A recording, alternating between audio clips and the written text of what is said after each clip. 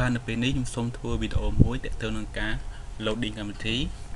ការ pop up នៅកម្មវិធីហើយនឹងការបិទនៅ minimize maximize ហើយនឹង close button អញ្ចឹងខ្ញុំចាប់ផ្ដើមអញ្ចឹងខ្ញុំសូមបង្កើតជា package ថ្មីមួយគេ new java package ខ្ញុំដាក់ថា loading គេ loading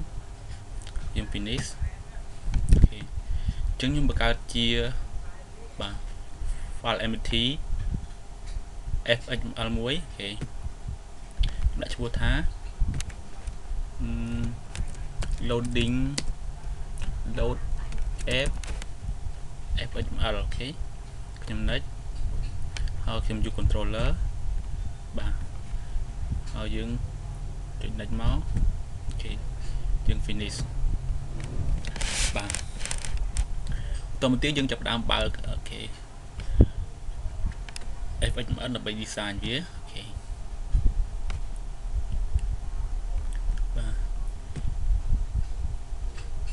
បាទតមកទៀតខ្ញុំពង្រួមវាឲ្យទូបន្តិចបាទជាធម្មតានៅពេលអូខេជាពេលយើងចាប់ផ្ដើមលោកកម្មវិធីវាបាទ form នេះគឺលក្ខណៈទូចទេអូខេ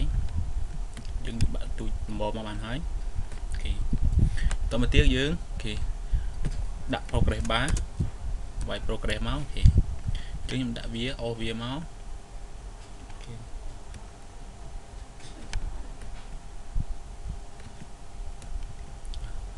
តមកទៀតខ្ញុំបង្ហាញជាសញ្ញាភាគរយនៅពេលដែលវា loading okay យើងប្រើ progress indicator okay ចំនេះមក okay យើងដាក់ដំណើរក៏បានដែរ តមកទៀតខ្ញុំដាក់ឈ្មោះឲ្យវាយើងចូលទៅកាន់កូដហើយយើងដាក់ថា progress bar okay okay មួយនេះជាជា progress indicator okay indicator ហើយយើងធ្វើការ save វា តមកទៀតយើងចាប់ដើម make controller okay អញ្ចឹងយើងបាន make controller ហើយយើងចាប់ដើមធ្វើការ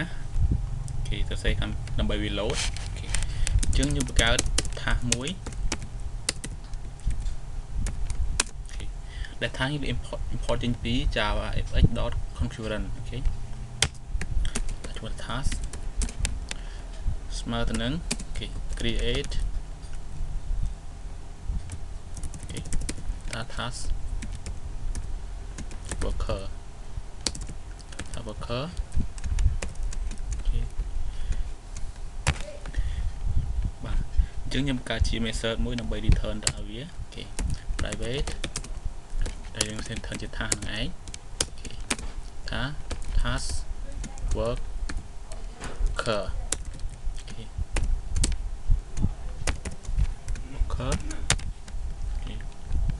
អញ្ចឹងយើងចង់បង្ហាញឲ្យរយៈពេលនៃការ loading នឹងតើយើងចង់បង្ហាញប្រហែលនាទីអញ្ចឹងខ្ញុំដាក់ជា second ឧទាហរណ៍ខ្ញុំចង់ដាក់ថាវាជា10 10វិនាទីចុះ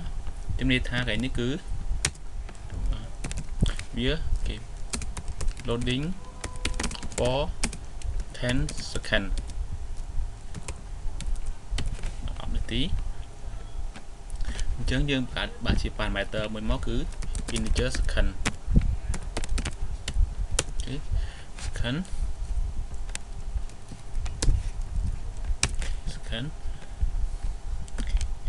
អញ្ចឹងបាទ method យើងត្រូវការ return type ជាថាអញ្ចឹងយើង return មក new return new គេ task អូខេអញ្ចឹងយើងត្រូវការគេ implement នៅ abstract method របស់វាអូខេ តមកទៀតគឺយើងបិទលុបនេះចោលហើយយើងចាប់ដើមធ្វើការបាទ for loop ណា for loop ចំនួននាទីរបស់វាគឺ integer i គឺស្មើនឹង0 i តូចជាង second ណាបាទ i បូកបូក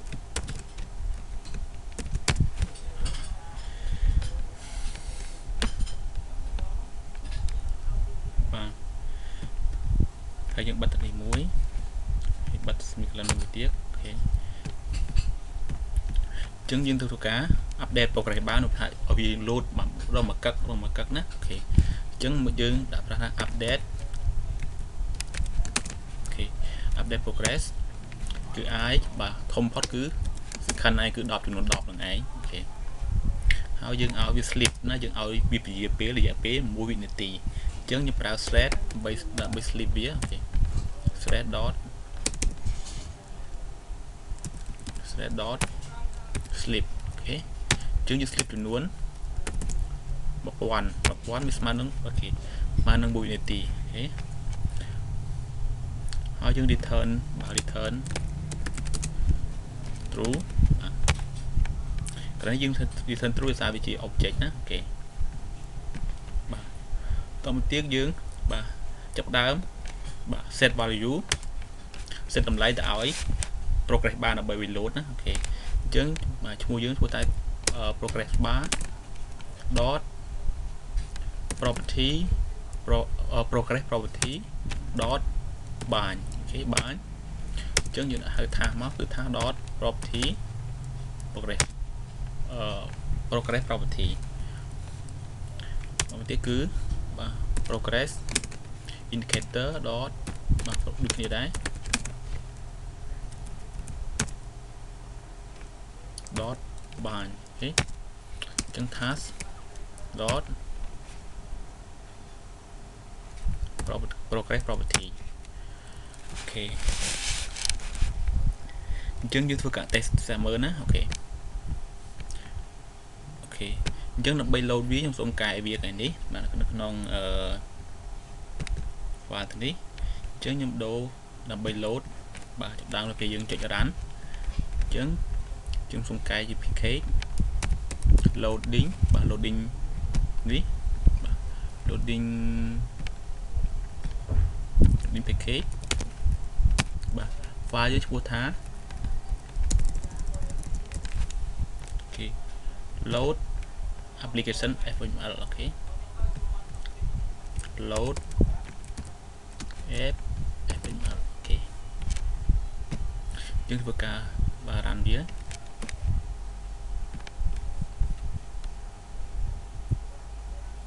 គេមិនតន់ត្រូវទេ loading អូខេ loading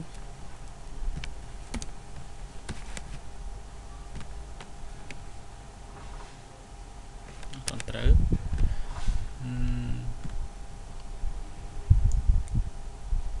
អូខេអញ្ចឹងបាទយើងមិនតន់វាមិនតន់ដើរទេដោយសារតែយើងតន់បង្កើតជា thread ណាអូខេយើងយើងដាក់បង្កើត thread មួយមកចឹងបាទយើងកាត់ thread មួយមក thread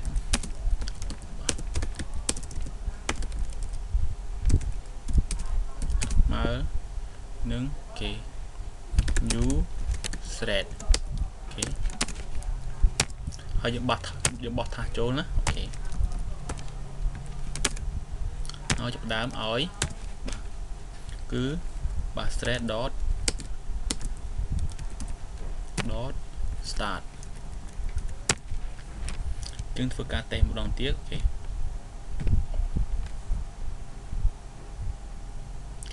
អញ្ចឹងវាចាប់ដើមដំណើរការហើយអូខេបាទអូខេ អញ្ចឹងវាកៀងតំនេះយើងមើលតាមអីអូខេអញ្ចឹងយើង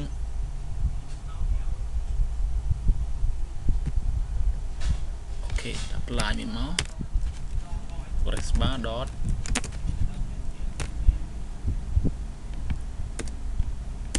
property dot underline អូខេ progress bar indicator dot property dot underline សូមយកបិទវាចោលសិនអូខេហើយវា run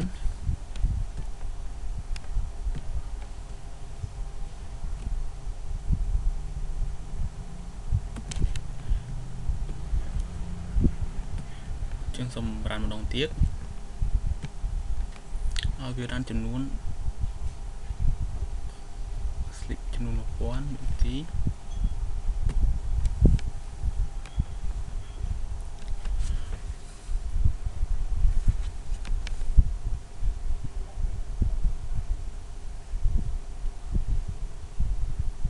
អូខេតើខ្សែបន្ទូជាង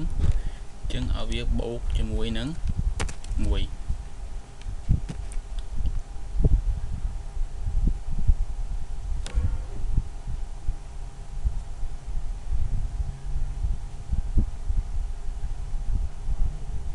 ដានហើយអញ្ចឹងតបពីដានហើយយើងយកឲ្យវាបិទបិទវាចោលហើយបើកនៅបើកនៅ form product នេះណា okay អញ្ចឹងយើងបាទដាក់លក្ខខណ្ឌឲ្យវានៅពេលដែលវាធ្វើការចប់ជាកន្លែងនេះគឺយើងដាក់ថា task dot set on success okay success succeeded okay យើងដាក់ event ឲ្យវាបាទបើក block មក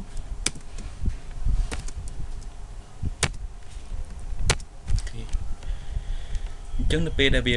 ចាប់ដើមចប់ហើយឲ្យវាបិទណាបិទណាបិទគឺបិទខ្លួនវាអញ្ចឹងយើងដាក់ឈ្មោះនេះឲ្យមួយមកបាទចុចលើ anchor pane ហើយដាក់វាថាជាអឺ okay anchor anchor pane okay anchor pane ហើយយើង save វាត ទៅទៀតយើងធ្វើការ make controller okay អឺសុំទោស make controller ថ្ងៃនេះ okay បានហើយយើងចាប់ដើម okay កាច់ជា stage មួយ okay stage okay stage ស្មើទៅនឹងបើ anchor pane មិញណា dot get okay get scene បាទយើងហៅបាទ scene របស់វាគឺ get ហើយ get win window អូខេតមកយើងឲ្យអូខេអញ្ចឹងវាទាមទារឲ្យយើង casting តម្លែងវាទៅជា stage អូខេ import function ហើយយើងចាប់តាម cast វាជា stage អូខេហើយយើងចាប់តាម close វាអញ្ចឹង stage dot ចែកដល់ close បានហើយយើងចាប់ដើមគេធ្វើការតេស្តម្ដងទៀតបាទ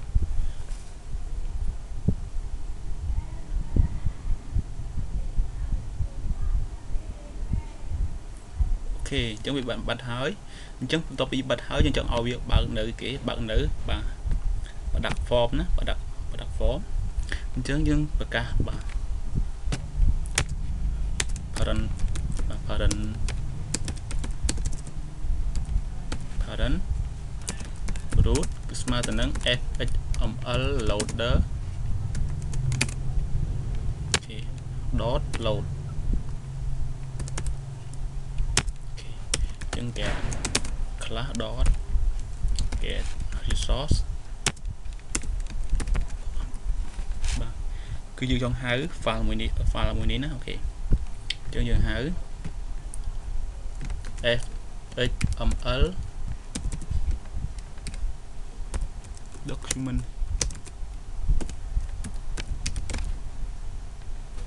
dot fxml អូខេអូខេយើង surround នេះត្រៃខាច់មួយមក import parent មួយមកហើយយើងបាទ surround វាជាមួយនឹងខាច់អូខេ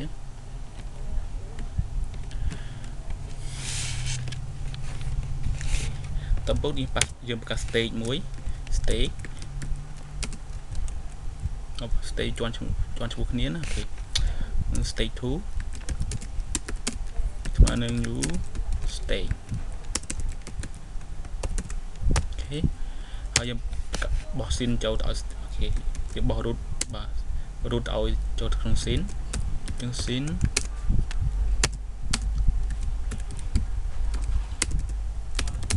ស្ស្មើនឹង new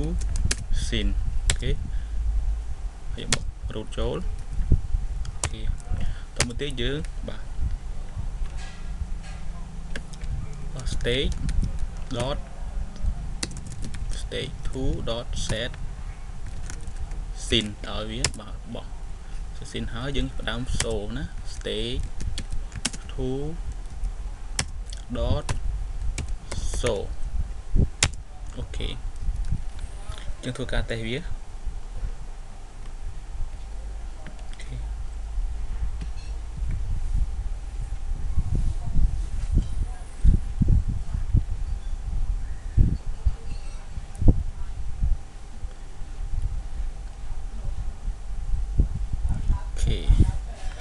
null pointer exception thread okay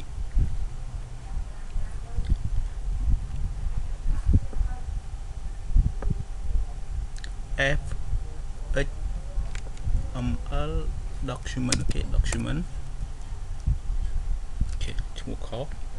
ចឹងរ៉ាំសារទៀត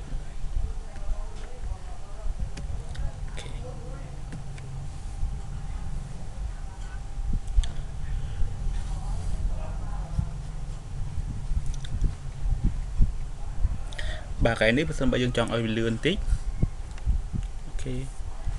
អញ្ចឹងវានៅ error ទៅហើយ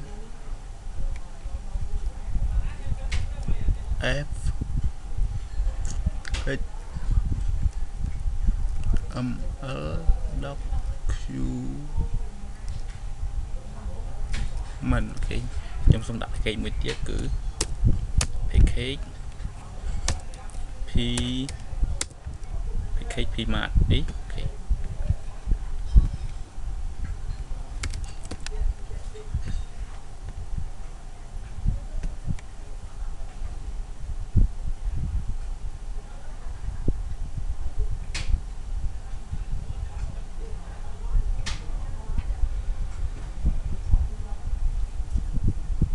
គេបើកហើយអញ្ចឹងខ្ញុំចង់បិទបាទទៅនឹងការបិទនៅ minimize និង maximize បតង់អូខេអញ្ចឹងយើងដាក់មកកែនេះគឺគេយើងដាក់ថា stage 2 dot គេ stage 2 init style okay អញ្ចឹង style នេះយើងយើងយកថា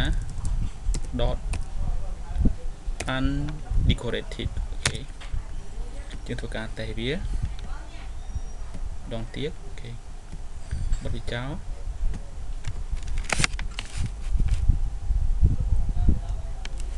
បាទកន្លែងនេះក៏យើងបិទជាដែរកន្លែង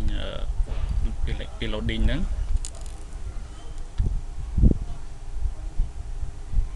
អូខេអញ្ចឹងវាបិទហើយបាទ minimize maximize ប៊ូតុងអូខេ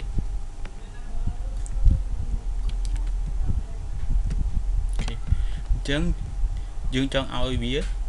បិទនៅក្នុងនេះដែរមែនណាអូខេសម្រាប់សម្រាប់ loading អញ្ចឹងដែលនេះគឺ stage dot init style undecorated អូខេអញ្ចឹងរ៉ាន់ម្ដងទៀតអូខេ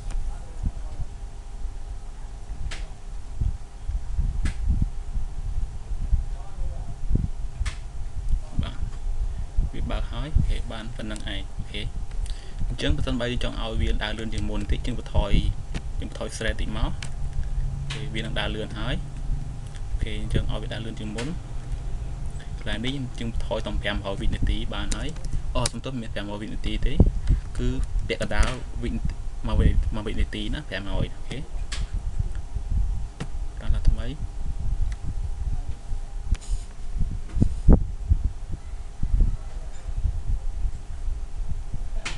ការ ងារចប់តែប៉ុណ្្នឹងឯងអរគុណ